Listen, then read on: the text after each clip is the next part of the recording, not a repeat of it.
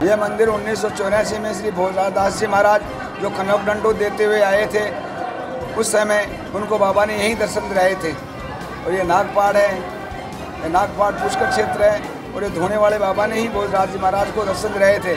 भादवा मास की दूज को खुंडियावास में हर्षोल्लास के साथ भरा बाबा रामदेव जी का मेला। दूर दराज से आए हज़ारों भक्तों ने लगाई बाबा के दरबार में हाजिरी, दो साल बाद भरे मेले में उमड़े श्रद्धालु। अजमेर शहर से लगभग 30 किलोमीटर दूर पुष्कर की नाग पहाड़ी की तलहटी में स्थित प्राचीन रामदेव बाबा के मंदिर पर भादवा मास की दूज को दूर दराज से पहुँचे हज़ारों श्रद्धालुओं ने बाबा के दरबार में हाजिरी देकर दर्शन किए और मनोकामना मांगी। मान्यता है कि इस मंदिर में अजमेर ज़िले सहित आसपास के जिलों से साल भर जो भी श्रद्धालु आते हैं, उनकी सभी मनोकामना पूर्ण होती है। वैसे तो यह साल भर भक्तों की संख्या हज़ारों में देखी जाती है, लेकिन दूज पर बाबा के अवतरण दिवस पर लाखों की तादाद में श्रद्धालु पहुँचते हैं और बाबा का आशीर्वाद लेते हैं। इस मंदिर की एक और विशेषता है कि यहाँ पुजारी नहीं, बल्कि भक्तों द्वारा स्वयं प्रसाद चढ़ाया जाता है। इस मंदिर की यह भी मान्यता है कि यहाँ पर कोई भी श्रद्धालु विश्वास के साथ मन्नत का धागा बांधता है तो उसकी मनोकामना अवश्य पूरी होती है। इस अवसर पर मंदिर समिति तथा पुलिस प्रशासन द्वारा सुरक्षा के पुख्ता इंतज़ाम किए जाते हैं। मंदिर के पुजारी सत्यनारायण ने बताया कि आज के दिन बाबा का जन्म हुआ था, इसलिए रात 12 बजे बाबा को स्नान और अभिषेक कराकर रात को ही महाआरती की जाती है और भक्तों को प्रसाद वितरित किया जाता है। साथ ही भंडारे का आयोजन भी होता है। उन्होंने बताया कि मंदिर का निर्माण वर्ष उन्नीस सौ चौरासी में हुआ था, जब भोजनाथ जी महाराज दंडवट करते हुए बाबा के दरबार में हाजिरी देने पहुँचे थे और बाबा ने उन्हें साक्षात दर्शन दिए थे।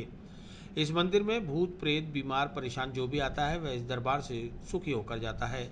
भक्तजन सैकड़ों किलोमीटर दूर से पैदल यात्रा करते हुए बाबा के दरबार में पहुँचते हैं और मन्नतें मांगते हैं। खुंडियावास में पहुँचने वाले हज़ारों भक्तों द्वारा नारियल अर्पण किया जाता है, जिससे निकली जटाओं से यहाँ भारी मात्रा में जटाएँ इकट्ठा हो जाती हैं और लोग इस दृश्य को देखने के लिए रुक जाते हैं। यहाँ आने वाला प्रत्येक यात्रु अपने हाथ में फूल, माला, नारियल और प्रसाद लेकर पहुँचता है और अपने हाथों से ही अर्पण करता है।